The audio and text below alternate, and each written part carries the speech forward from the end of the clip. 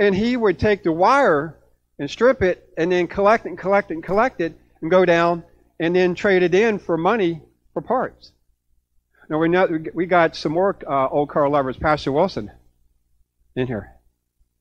So he would trade it in parts, and then it took some years to get it done, because sometimes my dad would try to hide, uh, try to hide the purchase of some of the materials because it was. he didn't tell mom every time he bought something it got in the mail. Well, they finally got it done after some years. And can you bring the picture up of it totally restored? Beautiful. Now, my dad brought it down to Norfolk, Virginia one time, and he got a hard time for this because he put it on a trailer and he drove his 57 Chevy down with a Ford pulling it. Now, I give him a little hard time for that one. But Pastor Thomas remembers that. He, we, we came to the church, and Pastor Thomas so graciously let him park it in our church property because it had a fence, and he felt very comfortable about that. And so we come in the back of the church one day and we was cleaning and polishing and all that. And one day I took it to work and I pulled in at work with it, told everybody, I told you it was getting 57.7. He says, don't lie to us. That's your dad's. So they knew. The title of the message today, Non-Negotiables of Our Christian Faith. That car was non-negotiable. If somebody would have come and asked my dad, it's like, you know what, I'm going to give you a lot of money for that car he's going to say this it's not for sale. You ever hear anybody say that? It's not for sale. You may have said it. Have you said that before? About anything? It's not for sale. That car was not for sale. And I called my brother and said, and he got it passed down to my brother, which rightly so. He, he helped him restore it and helped him work on it. And my brother still takes to the car shows. That was parked in my brother's house in Ohio. Pastor Thomas's lovely state, Ohio, but right beside the, uh, the greatest state of West Virginia. No offense, Pastor Thomas. None taken. I, I, I want to share some things that we may have heard before. I should have never given that up. You ever, you ever say that? Excuse me. I should have not given that up. That means you gave something away you shouldn't give up. Or how about this one? Or this is priceless to me. Ever hear that one? This is priceless. You know what? I um, I saw an article one time. This lady had a vase, and you know what's that show? The Antique Roadshow. And I remember she brought it to the Antique Roadshow, and the guy says, I don't think you know what you have. And she says, Well, you know, I was just trying to brought it here to, you know, see what, you know, the price was. And he says, Ma'am, this thing is priceless. He says, This thing should be in a museum. you know, I mean, not, not in your house. This thing should be in a museum where people could see it. And sometimes we hold things that is priceless we don't even understand and realize it. And I'm here to encourage us. Though you can't see your soul, though you can't grab it, though you can't put clothes on your soul, uh, you know, on your soul, you know, put makeup on it and or, or, put perfume on it, it is priceless. You cannot put a value on your soul because it is from God. Thank you. And when something is given you directly from God, doesn't that elevate the value of it? Our life has value because it was given to us of God. Your soul has value. Even more so than your flesh because our flesh is only temporary, but our soul is eternal.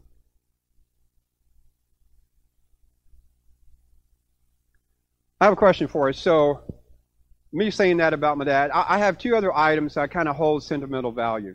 It may seem kind of silly, but my sister got me years ago a little nightlight, uh, Jesus knocking at the door. You, you ever see pictures of Jesus knocking? It, it's a, it's about that high, and and I turn it on all the time. And I have learned to develop sentimental value behind that. My sister gave it to me, but it's it's Jesus knocking at the door, and and, and sometimes when I'm just like just like blah, is like life's not doing good, I'll just go over there and turn the light on. Jesus knocking at the door, and then just and then many of you know I've made many trips to um, the island of Haiti. Uh, along with Pastor Thomas, you know, and, and Pastor Wells, and many here. Uh, uh that's your um, um, your nationality, your home country. I made many trips there. And during those trips, I, I bought, during one of those uh, trips, I bought a, a little wooden, um, uh, not a statue, but a, um, a, work of art. And it has, uh, where it has a Haitian with the carts that they pull, with stacked up with different stuff on it. And, and it's, it's nice and it's beautiful. I got that on my coffee table. It's been there for years. That has sentimental value to me. I'm just not going to give that away. Someone might ask me money for it, but I'm not going to take it because it, mean, it, it means something to me because of the mem- memories and, and being there and being a part of, you know, the One Hope for Haiti team. So I was saying that, is there anybody here, this is where you get the interaction, is there anything here this morning that you may have, this is where you may get to just say it, that has some sentimental value to you that you say, this is has some value and I'm, I'm not going to give it away. Dave, come on up. Yeah, so you can use a microphone. People will see your lovely face, brother. So just share. I gave uh, Pastor Sanitan a wireless mic, and then um, year, when he passed away, Larry Glander gave me the mic. I use that on Wednesday nights. I've been using that mic everywhere I go. Thank you. How about that? A mic. A mic. And it means something to him. Uh, Jay. Yeah, I have a lot of uh, scroll work that uh, scroll saw work that my dad made, and one thing in particular is a uh, about a four foot half dome uh, um, clock. West, it's made in the model of a Westminster Abbey, and it's pretty precious to me because he put lots of hours into it, and he also did a uh, Lord's Prayer, um, same, same same thing on the wall, and you know those two things are very valuable to me. Thank you, sir. You getting it? Paul, come on up. This is part of the message. This is what we hear. This is what God uh, is doing for people here. My, my grandmother made her living as an artist, and she was on in her years, and there was a chance to get just one of her paintings. I didn't have anything that she's done. I didn't get the one I wanted, but I got this one that still hangs in the house today, and this is just a memory because this is what I when I look at it, I think about my grandmother and uh, what she did and her passion for art. So you're getting it, Pastor Thomas?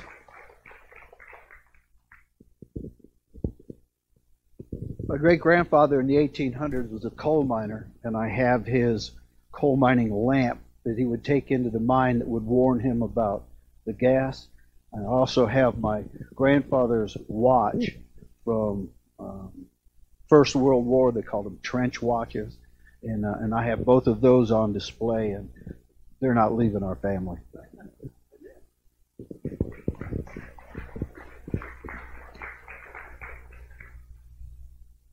Main scripture for today.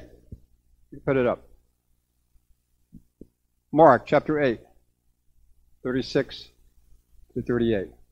For what shall it profit a man if he shall gain the whole world and lose his own soul.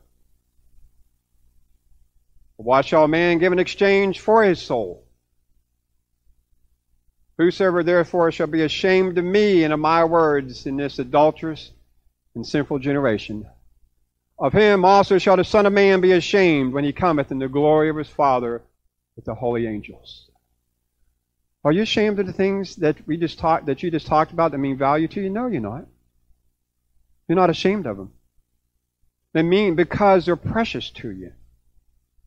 How valuable, I have some questions now, some comparisons. How valuable is your soul to you? I'm going to keep hearing that over. How valuable is your soul to you?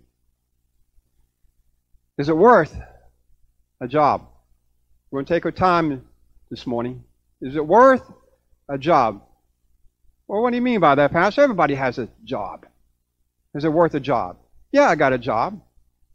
I want to use another example this morning. I called this brother while I was preparing this message. Many of you know him, Chris LeBasseur. I said, and he was still working when I called him that evening. I said, Chris, I said, I've tracked you through your career in the military. He was an enlistee. He became an officer. He's been in ministry many years. We grew up together in ministry. And, and, and I said, you know what? You've always impressed me.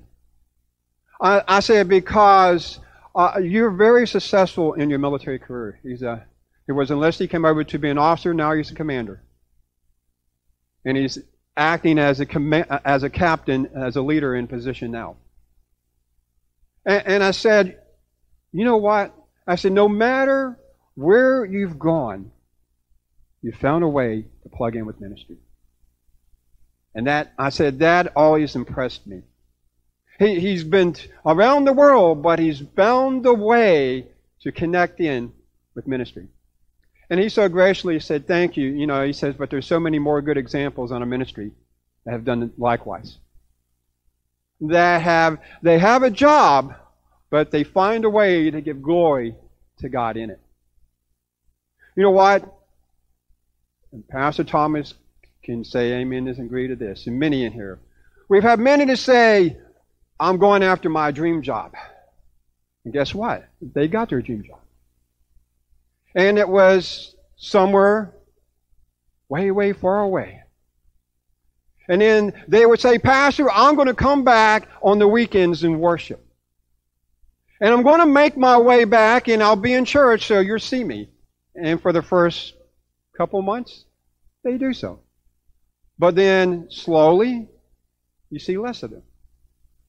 And then, and then uh, that every week turns into two weeks, and then turns into three weeks, and then it turns into a month, and then, oh, suddenly it's like, poof. You don't see him no more. Now, you, I want to remind us of Brother Paul Von Fonge back there. You just say hi. That brother's going all the way around the halfway around the world. Where you see him at this morning? See him in church. Guess what he's going to be doing this Wednesday? He's going to be teaching this Wednesday. He's going to be a boss. So I want you, want you come and, and to encourage him. That he's come all the way on the other side of the world, come here to fellowship and worship and give him a study. Why don't you come out and encourage him?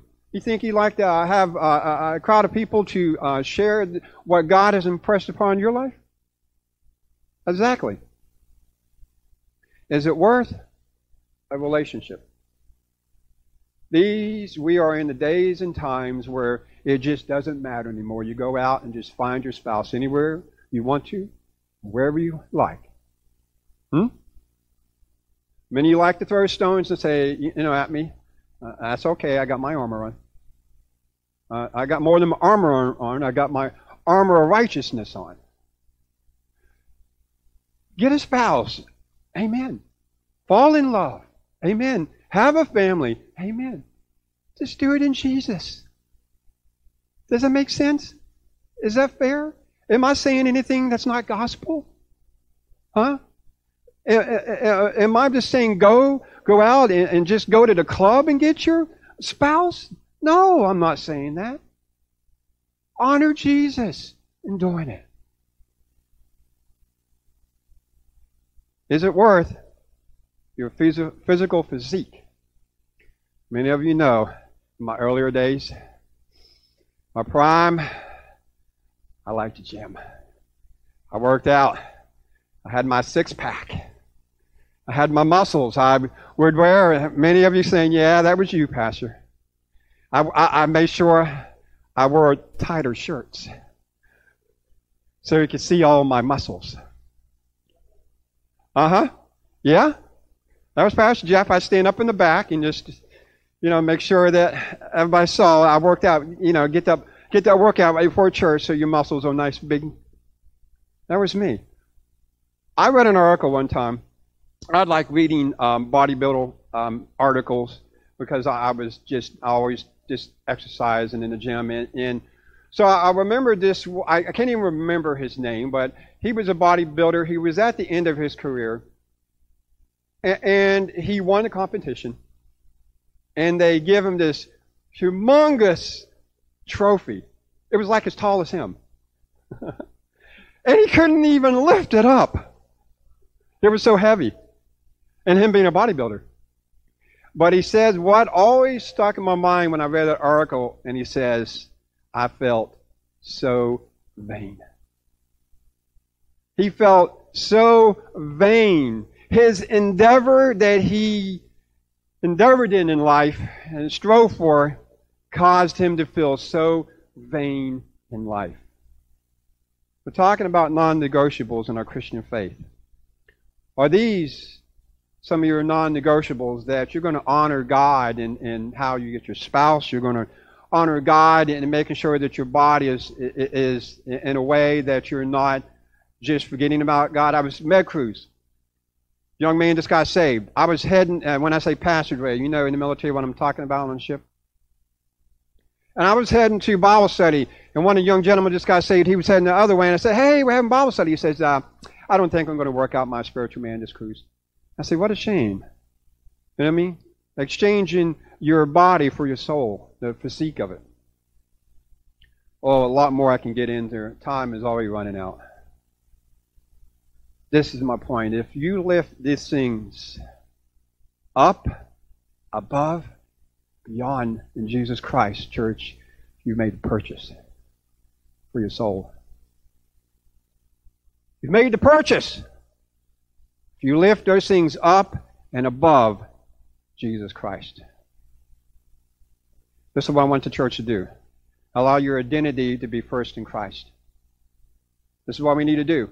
Yes, I'm a, I'm, I'm a maintenance worker, but I'm a Christian first. I'm a pastor, but I'm a Christian first. Huh? Do I need to say that one? Yeah, I think I need to say that one. A lot of pastors on uh, aren't Christians, really? Yeah, that's right. Whatever you are in your field, that's what you identify at work. But what are you first? What, what are you first, church? Christian, believer in God. Don't let your soul be auctioned off. Don't let be that stamp on it, sold to the highest bidder. Yes, sir. Keep it with all diligence. And this is what I've learned in life that it's hard for Satan to persuade a heart that's always being nourished from the hand of God. Amen?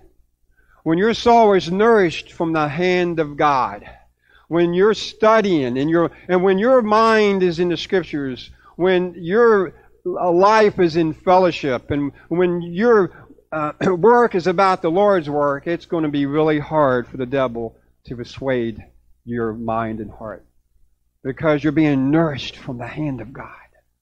Amen. And when the devil comes in and he begins to negotiate with you, understand this. His negotiation is for one thing your soul. His aim his object of desire is to bring down your soul and to destroy your soul. And the only way we're going to head that off, church, is to make sure that our object of desire is Jesus first. That's the only way we're going to head it off. Is that our object of desire, we all have that object of desire. And it has to be Jesus Christ. It has, heaven has to be our goal. It has to be our goal in life. Psalms 27, verse 4. I love what David said here. One thing have I desired of the Lord, and that will I seek after, that I may dwell in the house of the Lord all the days of my life to behold the beauty of the Lord and to inquire in his temple. Oh, hallelujah. Is that not beautiful? Does that not go and tell you what the object of David's desire was? He's also teaching us really one of the concepts here of non negotiable that we have to worship God and not your comfort zone. We have to worship God and not our comfort zone. You know what? We all operate in some sort of safety and familiarity, do we not? And with security. We all like that. We all like when we can feel that we have it under control and we feel safe, and, and, and rightly so. And, you know, and, and I think about um, boundaries, how that we have to break through boundaries in life. Everybody knows you have to break through boundaries in life. That is why teachers and coaches are so important in life. I know, Mark, you, you've been a coach in, in several things, and because what a teacher and what coaches do is they help you break through barriers. They help you. Say it's like I, I don't know if I can do this. The the baseball coach teaches the the player that he can hit that ball further. The the swim coach teaches the athlete that he can swim faster in life.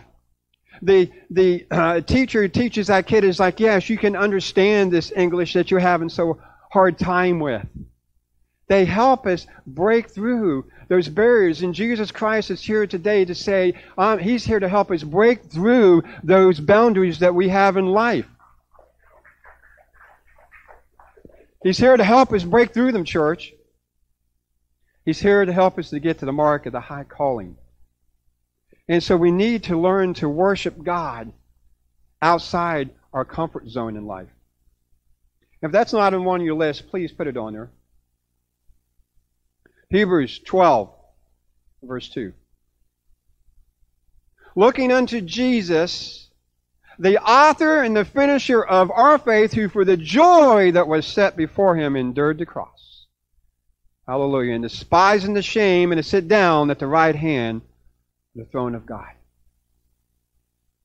Jesus is looking for a church that no matter how much mud the world throws at you, Whatever the flavor of the temptation, you're not going to compromise.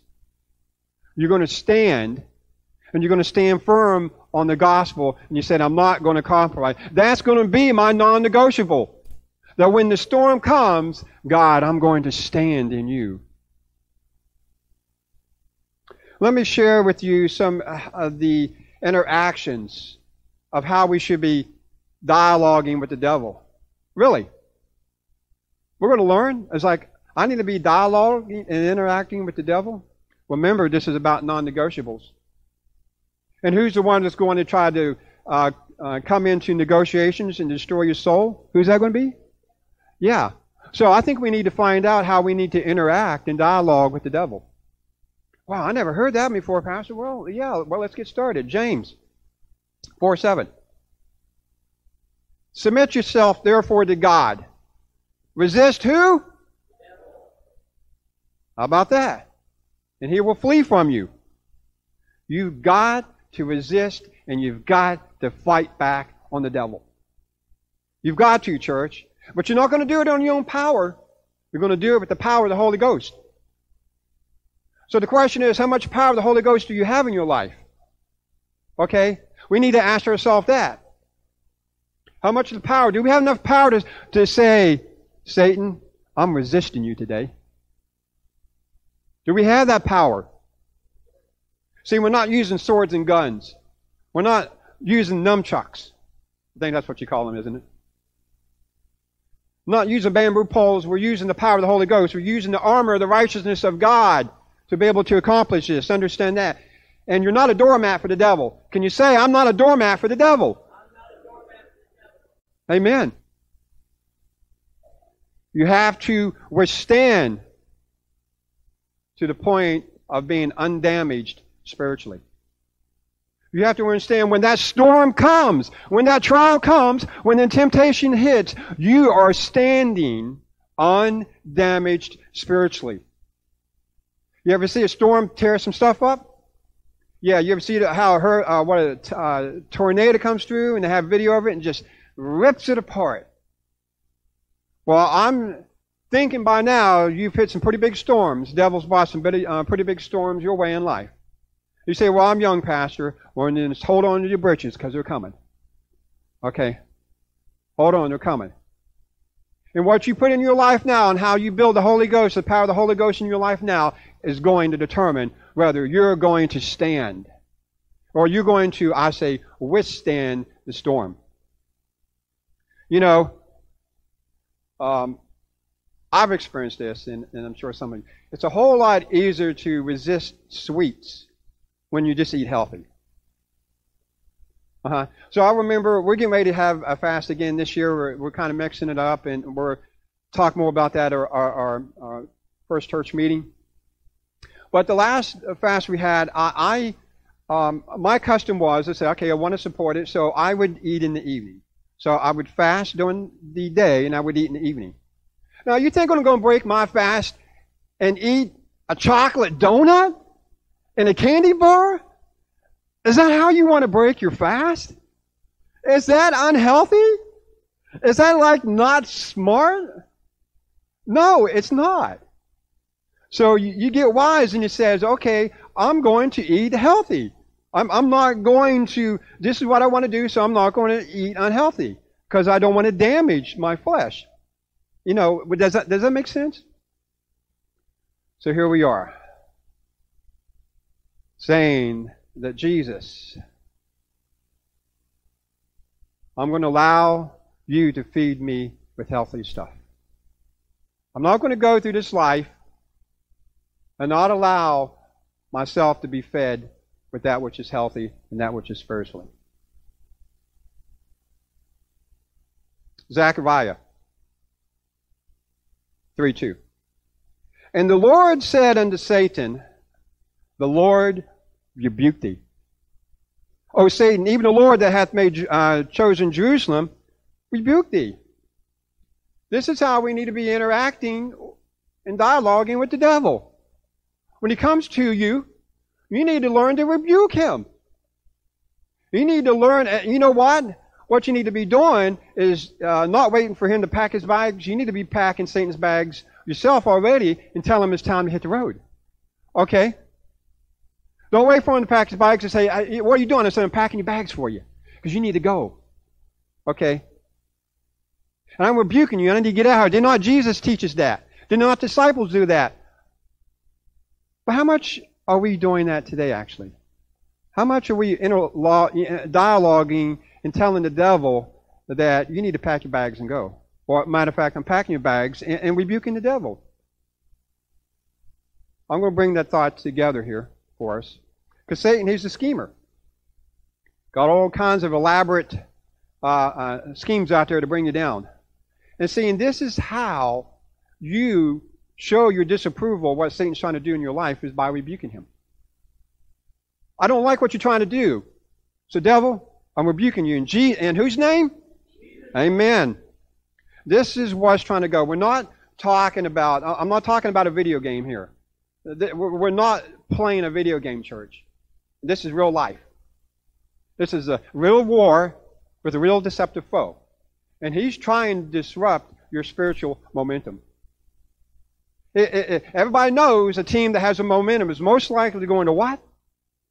They're most likely going to win. You can have all the talent on the other side, but if you got the momentum, most likely you're going to win. See, Satan is trying to disrupt your mo- spiritual momentum. And, and, and you got to be determined and say, well, how? They teach this in sports. And if you have a smaller guy on a team, and, he, and he's running up against a bigger guy uh, on the line, what does the coaches teach? They teach him that, that's why you always see a lot of these small guys that's big, they give him the ball because they're down low. And the faster you run, and the lower you are, you may be a smaller mass, but you're going to punch through that line. It's a law. It works. Okay? And they teach that in sports when they're playing. They get that ball to that small guy, and the ones that got legs as big as your, you know, your, your stomach, and, and he just runs fast and hard and punches through that line. And see, we, we have to learn to do that spiritually. We have to learn that when Satan starts trying to disrupt us, we, we got to get the Holy Ghost, we got to get low, and we got to run fast, and we just got to punch through that line and get to the victory. And get to the goal and score some points and be a winner in Jesus Christ. Let's go on. He's trying to fill your mind with all kinds of nonsense. Nonsense. Don't make sense. Don't matter. Trivia of the world. Trying to get you to blame God for all of our problems. And most likely some of the problems we created ourselves. But yet, it's God's fault. That's what he's trying to do. Uh, would I say he's trying to get you to gossip? Mm. You see how he's trying to disrupt? You see how he starts to negotiate with you on all these topics of life? And, and if you're not a good negotiator, you, you're, going to get ripped off.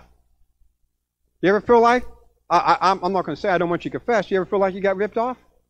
You buy something, get it home, and, and then it's just broken. It's like, man, I just got ripped off. Mm. He'll try to fill your mind with excuses of why you can't serve in church. I'm, I'm here to tell you now, these seats should be filled. We, matter of fact, we should be trying to figure out how to buy more chairs. We, we should have more people the, uh, around the wall. We should have more kids in the classroom. We should have more teams. We should. How many agrees with me? We should. And honestly, I don't think it's not because we're not inviting. I, am not saying bad or it's all your fault. No, I think we're inviting people. Who's inviting people to church? Yeah, yeah, we're doing that. Some reason as Brother Phil so eloquent shared with us, people's not fearing God this day. But don't let that stop you. Are you letting the devil beat you up? Well, my first answer, somebody asked me that, is I'm going to say no, I'm not. But I want to bring a point to us. If our responses against Satan attacks or are irregular, they're, um, what I say, relaxed or unconcerned, uh, that answer might be yes. You see what, see what I'm trying to share today? You see what God's trying to get us? Uh, uh understand today is non, non-negotiables. But Satan slips in and he begins to negotiate with us some of the, uh, the simplest, small things of our Christian walk, and he begins to defeat us. Because we're responding, because we're not rebuking the devil. It's because we're not resisting the devil. It's because we're not bringing those thoughts into captivity. That's how we dialogue and interact with the devil. We kick him, we rebuke him, we resist him. Is that your means of negotiating? And I would encourage you to incorporate this posture in your life. Ephesians 6, 10 through 18. And finally, my brother, be strong in the Lord. I'm asking the church to be strong in the Lord today. You want to be strong in the Lord? Then don't cut short on the duties you need to do in the body of Christ. Show up to church. Use your gift. Give. Give until it hurts. Come out early. Leave late. Do something. Bless the church. Put on the whole armor of God. Verse 11. She may be able to stand the Put on the whole armor of God. For the Bible says we wrestle not against what? Flesh and blood, but against principalities and powers. You see what we're wrestling against? Against the rulers of darkness of this world, against spiritual wickedness in high places. Wherefore, I'll take be able to withstand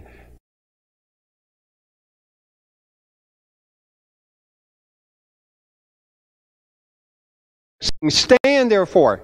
We don't need to be laying down. We don't need to be crouching down. We need to be standing up.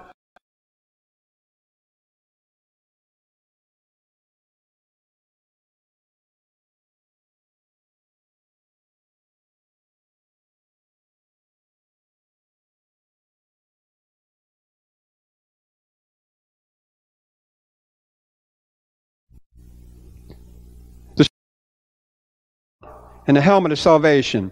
We need to take these things. God has them for them. We need to take them and we need to put them on in our life. And this is a fact that Satan isn't omnipresent. And thank God for that. But this is what you don't know. You don't know when the devil's going to show up. You don't know what corner devil's going to show up at school. Devil's going to show up at work. You, you, you're just on your way to, you know, a, a dinner out with your family there you go. The devil shows up. You know, you're on a, a nice drive on your bike. You know, um, um, Harley Davidson, uh, I would suppose, is a good bike. Anybody agree with that? Okay, I thought so. And the devil shows up. You never know where the devil's going to show up. And that's why we need to be walking in the Spirit, church. And that's why we need to be following in steps of the one who's omnipresent The Holy Ghost. Because when the devil shows up, you go, uh, oh, hey, yeah, I want you to meet my friend Jesus. Okay? Yeah, it, it, yeah, we're like tight, man. We're like two peas in a pod. And the devil goes, ooh, ooh, uh, I, I tell you what, I'll catch you later. Okay, I'll catch you later. I want you to meet my friend Jesus. I take him everywhere. You know, we was watching a movie and, and it was about Saul, and it was a, a little line in it was kind of unique. Uh, Saul, he, he was kind of, I guess, kind of a little arrogant. and says, "Man, a man could do a lot with Jesus on his side." And his friend goes, Don't you mean the other way around? Don't, don't, don't we need to be on Jesus' side for a lot of things to happen? See, Jesus can't be on your side. You have to be on Jesus' side. That's how it works. 2 Corinthians 10 and verse 5 I already mentioned this one. We have to cast down the imaginations and bring into captivity because the devil's trying to influence your thinking. And he wants you to act impulsively. Is that not shopping? Is that, is that how they get you um, in shopping? You know, you, I, I, this has happened to me. I've been sitting here watching. I'm watching um, um, um a commercial on uh, about chicken. Next thing I know, I'm in Popeyes with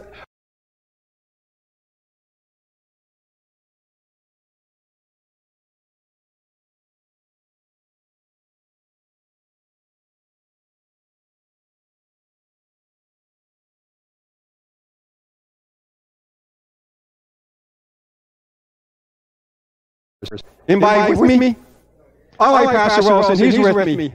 Meet market lovers. Okay, New Jersey. Okay, we got those New Jersey pieces. You see what the how the devil comes in and tries to influence you? You know, it's like we say, I would never do that. I would never do that. And then the next thing you know, you're it's like, why am I here? Why am I here? Why does this happen? Why? It's like, oh no, I just slipped. I just cursed. Really? I just did that? You know, the devil got you so angry. You, you hit somebody or shoved them. It's just like eh, eh, eh, it, it, it, you was out of character. We've got to keep the devil out of our minds, church. But this is what I believe. And I believe it to be true that I'm among those here today that you're sold out. You're not going to bow. You're not going to bend. You're unchangeable. You're unmovable in Jesus Christ. No matter what the devil throws at you, you've already made up your mind. You already made up your mind. You know, that's, that's what you have to do. You just have to make up your mind. Because when you make up your mind, you're setting your, you set yourself up for victory. But when you're doubting, and, and, and it's just like, and you say, well, you know, you know, maybe, you know, the devil does have something to offer me. You're in for a lot of heartaches. You're in for a lot of what we call at work slip, trips, and falls. And when you got slip, trips, and falls, there's going to be a lot of injuries going on. I want to remind the church, stay faithful today. And I'm going to end with a little bit about one of the non negotiables we need to have, another one, is obey God and not your appetite. How would you describe your appetite? Well, you know, you can say, well, you're talking spiritual or natural? You know. Well, on both. How would you describe your appetite? What is there innate things in you that you just have an appetite for? And if it wasn't for the Holy Ghost, if it wasn't for you knowing what saith the word of Lord, thus saith the Lord, it is written that the nature of your appetite would have you going a different way. How many can be honest on that? How many you have to fight now? How many you have to resist the devil? How many have to rebuke the devil? How many have to bring that thought into captivity because of the nature of your appetite? I have them. Yep, I have them too. Got to fight, got to resist. How would you describe? I want to share a scripture here. Uh, this scripture helps kind of direct our appetite. Matthew 6, 19 through 20. Lay not up for yourself treasures upon earth, where moth and rust doth corrupt, and where thieves break through and steal. But lay up for yourself treasures in heaven, where neither moth nor rust doth corrupt, and where thieves do not break through nor steal. This scripture is really helping us to direct our appetite. It says, lay not up. Where? Stuff here. But we are to lay up what? Our treasures in heaven. So it, it, it helps us guide our appetite really in life. And really, this scripture demands a choice from us. What are we going to do?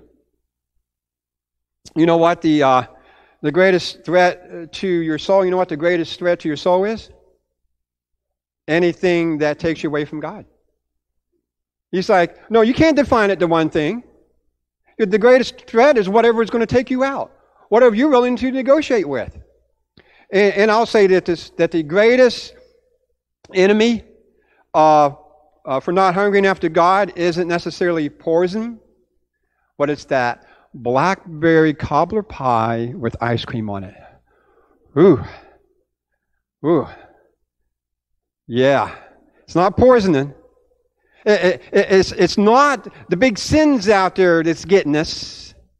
It's that little time that we spend in front of the TV that's just numbing our minds, numbing our hearts. All that little dribble nibble and nibbling at the, uh, the world's table. That's what's, that's what's poisoning us. That's what's bringing us down. Many of us know it's just like if Satan come at the front and he's like, hey, you know, do this sin, you're going to say, no, I'm not going to do it. But he comes in the back door. He's sneaky. Because he's after your soul. We're coming to a close here. Galatians 6 7. Be not deceived. God doesn't want us to be deceived. And God is not mocked, for whatever a man soweth, that shall he also reap. For he that soweth to his flesh shall the flesh reap corruption, but he that soweth to the Spirit shall the Spirit reap life everlasting. You know, this scripture really here it says, really, what you sow is what you reap. But what happens is in life that we try to find this safe middle ground. We try to find a safe middle ground and we, we make excuses and put off uh, for doing spiritual stuff.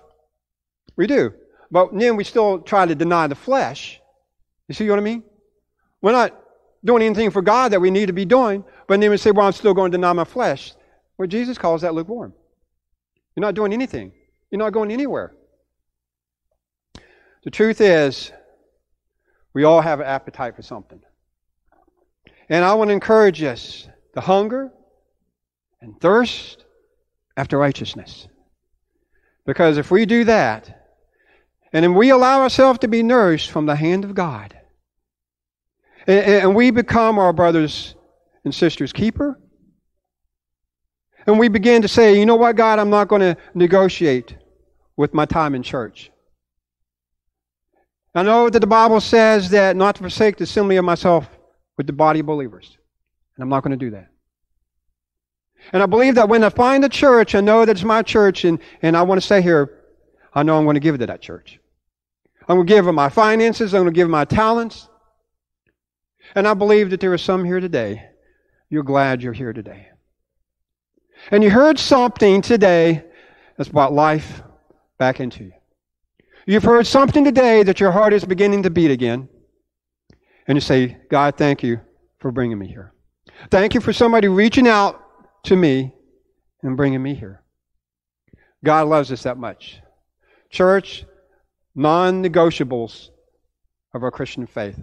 Learn them, study them, and practice them, because if we do this, and my last scripture is Hebrews 6 16, and it reads, For men verily swear by the greater, and oath of confirmation is to them the end of all strife. Put your foot down.